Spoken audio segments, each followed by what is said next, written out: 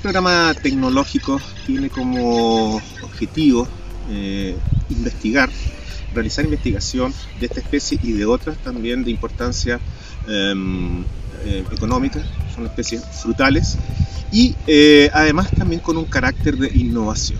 Esta investigación es aplicada, donde se vinculan empresas, productores e instituciones académicas, instituciones de investigación, con el propósito entonces de realizar esta investigación aplicada como mencioné y eh, también eh, aportar con innovación al sector frutícola.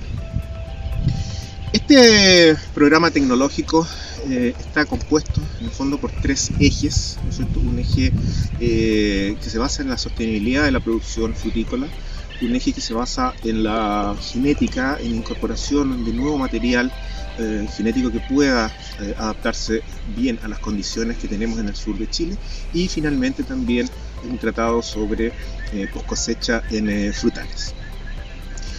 Particularmente les mencioné que yo era director de un proyecto de sostenibilidad y uso eficiente de recursos en, en, la producción de avellano europeo en la zona sur, esta especie que ha tenido un gran desarrollo eh, en los últimos años. Sin embargo, existe una serie de brechas respecto de su establecimiento, de su manejo, de su producción. Y es aquí donde nosotros como proyecto hemos estado trabajando, planteándonos cuatro objetivos principales.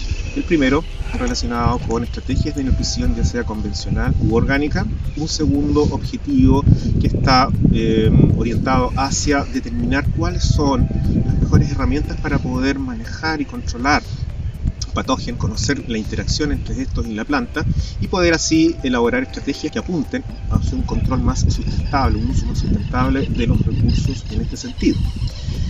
Tercer objetivo que plantea los alcances que puede tener la producción de este cultivo desde el punto de vista agroalimentario, como es la post cosecha, la calidad del fruto, eh, los eh, aportes funcionales que puede tener este fruto para el consumo humano. Y finalmente, un objetivo que está eh, orientado hacia eh, estimar cómo ha sido el impacto que tiene el cambio climático eh, en esta especie, haciendo un transecto en toda la zona sur del país.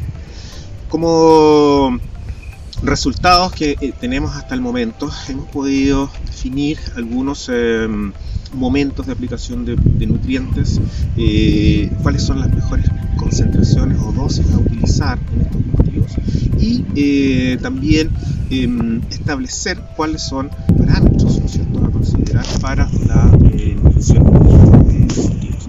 También eh, en el eh, plano del control de patógenos, fitopatógenos, em, hemos empezado a estudiar ¿no cuáles son las características de esta planta cómo interactúa con los fitopatógenos, pudiendo así cimentar las bases para un futuro control eh, patógeno empiece digamos, a prescindir eh, de cierta manera de los eh, productos eh, químicos. Aprovechando este video les quiero mostrar este jardín de variedades, ¿cierto? que está constituido por alrededor de 10 variedades y, 10 ecotipos, ¿cierto? que tiene el propósito de poder evaluar este material genético en las condiciones del sur de Chile.